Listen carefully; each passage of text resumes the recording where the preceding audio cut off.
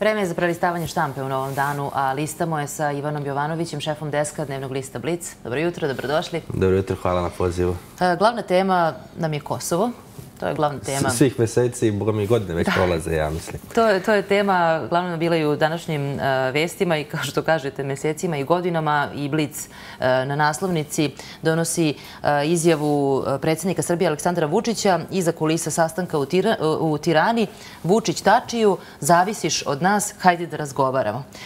Ja sam, jutros kad sam pogledala ovaj naslov, prvo mislila da izjava glasila zavisi od nas, hajde da razgovaramo. To bi bila onako prilično jedna velika istorijska izjava izjava. I bila bi, čini mi se, malo upečetljivija i bolja od ove izjave. Ali nije. Ali nije. Mada moram da, da priznam uz neku nepotrebnu dramaturgiju i ovaj, hajde da kažemo, taj neki, kako bih rekao, svakidašnji rečnik, onako, predsjednik Vučić nije ništa tu suštinski pogrešno rekao, ne, mhm. nego je bio tačnije, da ne kažemo, potpuno u pravu i na kraju je zaista dao izjavu ukoliko se moramo da nađemo neko rešenje, ukoliko želimo da živimo u miru, u slozi, bit ćemo zadnjih posljednjih dana 200 godina dvije najveće nacije na Zapadnom Balkanu. Hajde da se dogovorimo, jer i bez Srbije kao i bez Kosova nema dogovora, ali ako se stalno gura jedna ista priča, ovaj, mislim da, da, da, da neće ni doći do dogovora. Zato mislim da tu uz nepotrebnu, kao što rekao, dramaturgiju, izjava je potpuno na mjestu. Ali ako stavimo sa strane tu, ne, kako ste rekli, nepotrebnu dramaturgiju, e, to žargonski rečeno, te prozivke koje idu s jedne na drugu stranu, ko je kome šta rekao, na koji način, e, ko je Dobro, tu ispao, da kažemo, veći šmekir. Kako vama, ako sve to stavimo po strani, kako vama izgleda trenutna situacija u vezi sa Kosovom, u vezi sa eto, blizinom ili daljinom pa, postizanja izgleda, tog Znate, ono kako neki puta se ponada nam, eto, sad je samo što tu nije, to je odrešenje i dogovor, a onda ovaj, odjednom se čini da to godinama, decenijama daleko. Je sada smo došli u tu situaciju da se čini da nikad nije dalje bio dogovor između dve strane. Znate, ono kada je bilo pismo Trumpovo, pa priča, pa sad će Berlin, pa tako dalje, to smo se sve nadali, sada će, sada će nešto da se desi, ali nikako toga da doći. Tako da onako pomalo umarajuće, ali to se ciklično ono ponavlja kao ona W linija. Znate, čini mi se sad smo, tu smo, pa idemo gore, dole. Nije, nije, nije ohrabrujući. Pogotovo je izjave Vučićeve gdje je rekao da neće se ništa desiti specijalno ni u junu, ni u julu, neće dobiti Kosovo viznu liberalizaciju. I tu je odlično rekao da misli da Kosovo treba dobije viznu liberalizaciju, neće ni ovaj Makedonija severna dobiti te početak pregovora, tako da da onako izgleda prilično pesimistično. Pa, eh, dakle, ova izjava od koga zavisi i ko od koga zavisi, negde izgleda da dosta zavisi i od Evropske unije, kako će to dalje da se dešava. Čuli smo prethodnih dana nekoliko izjava koje su došle, e, a bile su u, išle su u tom pravcu da je velik, da, odnosno da su karte u rukama i Evropske unije. Jesu i Za ceo Balkan zapravo. Jesu, ali karte su i u rukama Kosova, karte su i u rukama Srbije. Svi imamo određene neke karte, ali izgleda kao da ne igramo istu igru, kao da su ovaj, potpuno različiti pravila igre po kojima mi igramo svi, tako da nikako da dođemo. Kada kažemo o Evropskoj uniji, tu najviše mislim, pravo da vam kažem, na podinačne članice Nemačku i Francusku, na Angelu Merkel i Macrona, oni su pokušali nešto u Berlinu. Čini mi se da je situacija ono, kontraproduktivna, da je još bilo više zaoštravanja, pa se nadamo tome Parizu 1. jula da će to da se nekako slegne. I ako posmatrate Nemačku i Francusku u Berlinu, šta je vaš zaključak posle tog sastanka? Pa, e, ja mislim, ako pogledate ovu izjavu Vučićevu koja se danima kasnije citirala, moj predlog ste odbili i tako dalje, upućujući to malo i građanima Srbije, ali čini mi se da je to više bilo poruka iz Berlina da od, od razgraničenja, da je razgraničenje definitivno kao neka ideja propala i otpala. Oni su malo tamo pokazali, pravo da vam kažem, i neku inertnost i začuđujuću toleranciju prema Haradinaju, iako se tamo također za kulisa Macron nekim ne teatralnim rečnikom obraćao, ali od takvih nikakvih rešenja nismo imali. Pa sad mi ne znamo, možda su ovi u Briselu čuli e, šta je bila ta ideja predsjednika, mi ovdje u Srbiji javno svakako nije, ali, ali da vam kažem, reći ćemo i na, tu, i na to. Dakle, mi ne znamo konkretno šta je bila ideja predsjednika, ali ja bih evo da, da pogledam ovo veliko istraživanje šta građani misle o rešenju kosovskog pitanja. Isto je Blic objavio i sad mene jedan tu procena čudi, reći ćete mi vi da li vaš čudi. 50% kaže da je za zamrznuti konflikt. 32% kažu sporazum Beograda i Prištine koji bi značio podelu Kosova, to jest razgraničenje. 10% je reklo da ne zna. A 8% kaže sporazum Beograda i Prištine koji bi značio priznanje Kosova u sadašnjim granicama. Jel vas e, čudi ovaj procenat od 8%? Pa na prvi mah čudi, onda verovatno su neki ljudi, pravda kažem, izrevoltirani, a drugo građani Srbije postoje i neki ljudi koji nisu srpske nacionalnosti i tako dalje, koji pretpostavljam polažu, kako bih rekao, svoj pravo na mišljenje da Kosovo treba da bude nezavisno u trenutnim granicama. Ali moguće da postoje ljudi kojima je više muka od svega i tako dalje. Kažu dajte im celu državu pa da završimo da nastavimo dalje. Ali pravo da vam kažem, pogledajte i taj e, procenat e, 32 za razgraničenje, ali tako i 10% e, ne znam, to je kad sabirete, to je 42% ljudi koji su spremni na neki određeni kompromis i pravo da vam kažem uz određenu kampanju i da vam kažem ako bi izašla SNS i država i tako dalje sa nekim predlogom o razgraničenju, to bi vrlo lako moglo da se na nekom referendumu prebaci preko 50%. Mislite na referendumsko pitanje, da? Da, na 50%. Da vam kažem, ako mogu da se vratim sada na ono da kažem, Pazite, čini mi se da je javnost, uh, pogotovo opozicijona i prestroga prema kada kažemo ne znamo koji je to plan Vučićev. Ne znamo ga mi u detalji i tako dalje. Znamo da se radilo o nekom razgraničenju i negdje gdje možemo da pretpostavimo da bi ta linija išla, to se već pominjalo onome sjevernom kosu, nije jasno. A zašto bismo mi kao javnost, evo i vi kao novinar, ja kao novinarka, zašto bismo mi pretpostavljali, a onda nas neko optužio da smo odbacili nešto za što nismo znali tačno šta je? Upravo to hoću sad da vam kažem. Mislim da je to više bila poruka da je tu malo Vučić izrevoltiran i iznerviran bio činjenicom da nije uspio da se dogovori s Albancima, od kojih ovaj, je to prevashodno zavisi, a također Evropa, verovatno u Berlinu je rekla ovaj, od toga nema ništa. A onda je bio nervozan i izrevoltiran činjenicom da je on bio spreman da dođe do dogovora, a opoziciona javnost ga je ono čekala na tu tačku kao da kažem eh, da mu se tu, što bi on volio da kaže, skine glavu. A jeste, malo razmišljali, jeste li razmišljali o tome koliko Vučića zapravo brine opozicijona javnost? Pošto je nekoliko puta rekao da ne, ne pada na pamet da razgovara s liderima opozicije, zapravo to znači da im do njihovog mišljenja nije stalo. Kako sad odjednom na To naravno da je pogrešna poruka i potpuno je, čini mi se, nije, nije, nije, nije dobra izjava, ali znam da siguran se na njega i zanima što oni misle. Tačnije, više ga zanima šta misle građani o tome šta oni misle i znamo da Vučić uvijek da voli da gleda istraživanja i tako dalje i nije sigurno verovatno bio zadovoljan činjenicom da dobar dio javnosti ne svata mogućnost razgraničenja kao dobru kao dobro rešenje. E sad, e, tu je jedan e, tekst iz e, nedeljnika NIN. Dragana Pejović podsjeća na 15. strani NIN-a pod naslovom razgraničenje sa samim sobom na jednu izjavu tada prvog potpredsjednika vlade Aleksandra Vučića, izjava iz 2013. rekao je da će za svaku odluku koja bude doneta E, citiram, bez ikakve sumnje, najodgovorniji, najkrivlji ili najzaslužniji biti on lično. Jeste. I on je, pravda vam kažem, ima mandat, ima preko 50% i on je dobio taj mandat i on mora da reši to pitanje Kosova ili ukoliko se rešava, on je tu glavni i najodgovorniji. Svestan je on toga sad, zato je on i iznerviran činjenicom da ovaj to neko njegovo viđenje rešenja nije naišlo na plodno tlo nigde ni u Evropskoj uniji, ni kod Albanaca, a ni u srpskoj javnosti. A ni u crkvi, što je I u crkvi, interesantno, u kojoj je on imao uporište, evo, na primjer, do tog pitanja.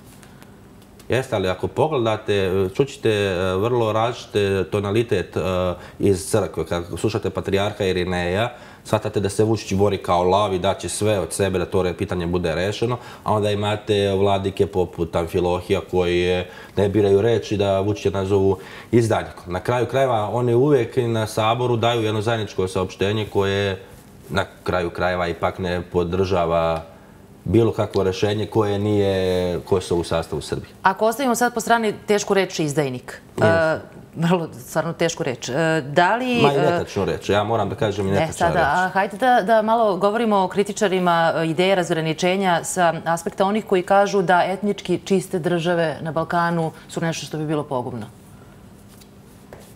Dakle, u tom pravcu veliki deo kritika je išao u tom pravcu bez korišćenja ovakve terminologije. Dobro, šta šta je alternativa? Alternativa je da bude zamrznut konflikt, odnosno da imamo Kosovo u sastavu Srbije koje nije u sastavu Srbije, ili da imamo potpuno nezavisno Kosovo sa, ovaj, bez nekih dijelova koji bi mogli da pripadnu Srbiji. I gde su gazivode i trepče potpuno kosovski za, ne, ne, vidim, ne vidim da je to bolje rešenje tog nekog razgraničenja po toj nekoj liniji za koju se ograđujem stvaru, ne znamo uh -huh. gde bi, bi išla i tako dalje, ali definitivno znamo da 80-90% teritorije bi pripalo aktuelnoj zvaničnoj Prištini. Na ovaj naslov razgraničenje sa samim sobom iz uh, nedeljnika NIN, ja ću da pročitam naslov iz uh, nedeljnika. Na petoj strani razgraničenje sa jednim Albancem u Borči. Slučaj pekare Roma, koliko je E, poštovanja potrebno. Mon Đuraj je personifikacija slike koju srpska zvanična politika godinama pokušava da predstavi čovek koji je otišao sa Kosova u drugi kraj svoje zemlje gdje ima bolje uslove za život i umjesto da njegovu sliku drže kao političku razglednicu u pregovorima sa Prištinom, morat će da se zadovolji time što mu nije razbijeno staklo na pekari, jer i Srbe napadaju na Kosovu. Pod znacima navoda piše Veljko Miladinović. E, ovaj, ja sam e, lično bio i znam ljude s kojima dijelim iste stavove vrijednosti pretužan, očajan, do te mere, ono, da kako bih rekao, degradiran, ja lično i sva moje uvjerenje kada sam vidio šta se dešava u Borči, tako da ovaj, sa velikim bolom i patnjom sam gledao sve to i pravo da vam kažem, znate kada mi kažemo, pogotovo sad u 9. maja, kako Srbija graje antifašističku tradiciju, kako Srbija nije fašistička nekada zemlja, kada nije, nema rasizam, nema mržnje drugim nacijama, mi uvijek padnemo tim nekim detaljima kada institucije treba da reaguju. Ja mogu da shvatim da postoji pregraš ili na desetine ili na stotine divljaka koji su spremni da odu kod eh, Albanca i da mu stavljaju svinske glave, ali ne mogu nasati da ne postoji pamet države da neke skupove zabrani. Jednostavno ne možete da dođete tu. Ne samo, nije dovoljno da su nije nijedno tako stvoreno, slomljeno.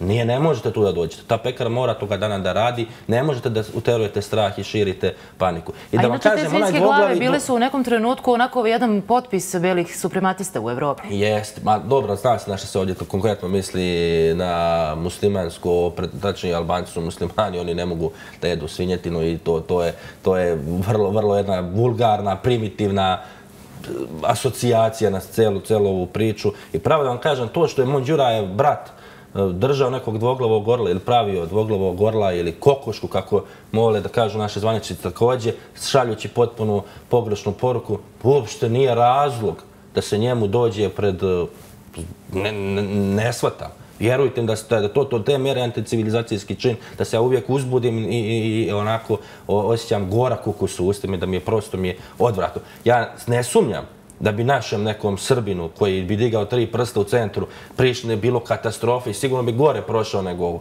I siguran sam da i Naser Orić zaslužuje tešku ovaj, zatvorsku kaznu i da Ante Gotovina, ja sam siguran da to. Ali to mene uopšte kao čovjeka koji se osjeća Srbinom, ali i građanom ovoga svijeta, ne ovaj, opredeljuje kao da treba da žmurim na, na, na zločine ili ne, ne, ne bedestoće koje čine pripadnici u Srb, mog naroda u Srbiji. Šta vi mislite, da li je to bilo spontano ili organizovano? Naravno da je bilo organizovano. Sad, ko je to organizovao?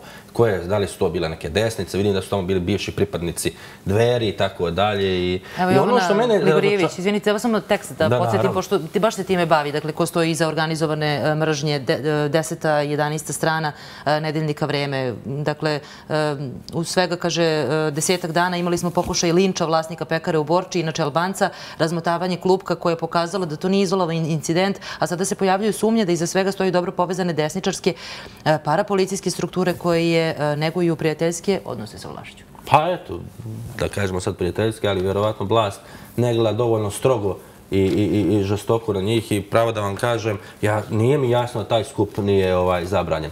Pravo da vam kažem, ali ono što me također boli, što, što je verovatno neviđeno. Znate, e, ta opozicija je vrlo spremna da napadne e, Vučića za razgraničenje i za plan i za izdaju i tako dalje. Ali u opoziciji, kao u vlasti, već smo rekli da mhm. policija nije zabranila skup, nisam čuo dovoljno jaku osudu svega ovoga i za to moram da pohvalim e, to neko mlađe krilo demokratske stranke sa Balšom, Majom Idenović i sa Aleksandrom Jerkov, ovaj, koji koliko toliko baštine tu neku klicu građanskog u toj demokratskoj stranci i u opoziciji. Šta da mislite? Kažem, kada smo posle čuli Boško Bradovića šta misli o tome, ja nisam čuo ni Đilasa šta misli o tome, znate, Vuka Jeremića nisam čuo šta misli o tome, Šapića sam čuo. Mhm. Ne slažem se potpuno što kaže Šapić onako malo sam izgrožen, ali sam čuo što čovjek misli o tom. A mislite li da bi, e, eto, kada bi se izjasnili o tom e, slučaju i iznali svoje mišljenje o tom slučaju, e, da li razmišljaju o tome da bi mogli da izgube deo birača? A, oni vrlo često preskaču ta neka goruća pitanja gdje, gdje bi moglo da se desi da u tom Savezu za Srbiju pa i pokret slobodnih građana koji je uz njih na ovoj čuvanju, jel tako, slobodne zone, da se jave neke pukotine gdje bi oni jednostavno morali da se konfrontiraju jedni sa drugima, a njima sada to jedinstvo protiv Vučića čini mi se da nema cenu. A, a koliko mislite da je održivo to e, isto vremeno igranje i levo i desno i na, dakle, na udvoravanje, udvoravanje ukusima razli, birača na različitim Meni se to ne dopada, pravo da vam kažem, uopšte mi se to ne dopada i ja mogu da shvatim da u vlasti postoji tako širok spektar iz prostog razloga što postoji vlast kao vrhovni cilj i ona je to neko toliko jako lepilo koje njih sve drži zajedno, jer oni su spremni na sve da bi ostali na vlast. Ali legitiman je i, e, dakle, taj, ta, ta težnja opozicije da postane vlast, to je suština naravno da je legitiman, oni nisu na vlasti i onda kažem ti ta, ta pukvotina vrlo, vrlo, vrlo bude češće i nemaju to lepilo koje je tako jako kao što je vlast i onda se te razlike mnogo više vide. I onda, pravo da vam kažem, postoji veliki broj ljudi koji su protiv, zaista protiv Vučića, a nekako ne mogu da se identifikuju sa tom raznorodnom heterogenom ovaj, opozicijom. Tako da, ovaj, ali kada kažemo o zabranjivanju skupova, ja samo moram da, ajde, napravim samo mhm. malu digresiju. Uh, I kada kažemo o ovim dešavama, meni pravo da vam kažem, nije jasno i oni, uh, kada kažemo zabrana rado, blokada mhm. radova na trgu i tako dalje. Kako se to dozvoljava? I to također mislim da država ovaj, greši, jer, pazite, ti radovi zaista izgleda to sve traljavo i onako prilično vidimo da je grad preoran, ne zna se gde počinje, gde se završava, kada će biti gotovo, šta je otvoreno, šta je zatvoreno i tako dalje. Ali čini mi se kao protest da vi stanete i branite nekim ljudima da nešto rade, a to su neke firme koji su podizvođači koji će samo toga dana da se naplate to od nas građana što se taj dan nije radilo, to ćemo da platimo ja, vi, ti koji blokiraju i ovi pripadnici vlasti, potpuno mi nije jasno. I onda vidite šta se dešava, umjesto da se zabrane čak i na takav način radikalne te neke blokade, dovodimo do situacije da vlast dovodi neke svoje simpatizere, botove i tako dalje, koje će da provociraju ove koji e, vrše blokadu, i dolazim do činjenice da se javlja nasilje u centru grada. I mislim da to sve može da se preduprne samo što nekome odgovara da se nek blokiraju ti radovi. Oni na taj način pokušavaju ljudima da ogode, vidite, ova opozicija stoji sada na, na putu napretka civilizacije, gradnje našeg grada da bude lepši, a on, mislim da bi to mnogo jednostavno mogli se kaže ne možete da blokirate radove, smićajte neku drugu ured protesta. Uh -huh. I uh, još jedan naslov hoću da prokomentarišemo. Da, nama će danas e, tema jutra biti vojna i policijska parada u uh, Nišu. Uh, povod jeste 9. maj dan pobede, međutim za dan kasnije je E, pomerena ova parada u e, Nišu. Mi ćemo razgovarati i sa predstavnikom vojnog sindikata, razgovarat ćemo i sa analitičarem Aleksandrom Radićem, ali ja bih da prokomentarišemo jučerašnji događaj, on je na naslovnici dnevnog lista danas, otkud Haški je osuđenik na čelu zvanične parade. Niš obeležio dan pobjede nad fašizmom maršem koji je predvodio general Vladimir Lazarević. Prvo je sve krenulo sa veselnom Sljevančinom koji je bio na SNS-ovoj tako nekoj tribini, pa je isti taj gospodin Lazarević ovaj, eh, držao neka predavanja na Vojnoj akademiji i evo ga sada gospodin general Lazarević na čelu besprtnog puka, tako, koji proslavlja se borba pobjede nad fašizmom, gdje smo mi onako dodali i po, žrt, sećanje na žrtve ratova 90-ih, umjesto da se to zadrži na tim nekim antifašističkim tradicijama. Lepo su to rekli iz Fonda humanitarnog prava, da mi koristimo svaku priliku da nekako na neki način relativizujemo i pokušamo da ovaj, rehabilitujemo ratne zločince koji su osuđeni u Hagu. Počemo od Vojislava Šešelja, generala Lazarevića, Vešeljna Šljivančina, mislim da je to loša poruka. I kao da biramo onako najgore manifestacije gdje oni mogu da ovaj najviše bodu oči. Zamislite, Haški osuđenik predvodi ovaj besmrtni puk i govori o tome. Mislim da je poruka potpuno loša, pogrešna i ne dopada mi se. Ivane, hvala. Hvala vama. E, nadam se da sam, da sam uspio da nekako odgoretnemo neka pitanja, ali vrlo, vrlo je konfuzno i pravo da vam kažem često ni ja ne znam kako da se orijentiše. A samo da vas pitam za kraj. Van politike Kosova, šef ste deska u, u, u Blicu. Šta vas ovako interesuje da pogledate na televiziji ili da pročitate u novinama da nije sport? sad sam, sad sam htio da vam kažem, sam ustao u 4.30 da gledam ovaj, Jokića. Pa pravo da vam kažem, ovaj, eh, ja volim da gledam serije i mm -hmm. time se ovaj, najviše bavim. A, a što se tiče ovako dnevno političkih događaja, volim, volim ovaj, da gledam eh, šta se dešava u spojnoj politici, malo pratim Brexit, malo pratim ta neka detalji, pokušavam da, da, da to povežem sa nekom našom situacijom. Ali toliko sam ovaj, eh, opterećen tim dnevnim događajima da sam na Twitteru po ceo dan i na taj način se vam kažem najviše i informišem, ne idem po portalima redom, nego sve što vredi izgleda, oni već sami izbaciti korisnici, onda pokušavam da povezujem činjenice. Ivane, hvala što ste govorili za N1. Štampo smo listali sa Ivanom Jovanovićem, šefom deska Dnevnog lista Blitz.